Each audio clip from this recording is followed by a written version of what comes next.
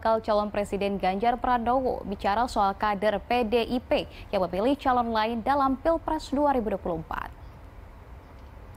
Bakal capres dari PDI Perjuangan Ganjar Pranowo mengaku tak masalah jika ada kader PDIP yang mendukung pasangan selain Ganjar Mahfud di Pilpres 2024. Namun begitu, mantan gubernur Jawa Tengah itu mengatakan setiap kader harus tegak lurus terhadap pilihan partai untuk mendukung dirinya dan Mahfud MD di Pilpres 2024.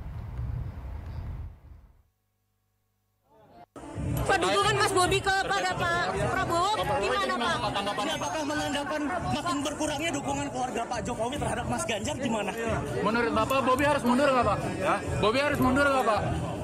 Bobi harus mundur Pak? Balikin KTA ke Balikin ke Medan. kader PDI Perjuangan yang diajukan saya, maka sebaiknya mengikuti keputusan kita atau silakan mencari cara lain.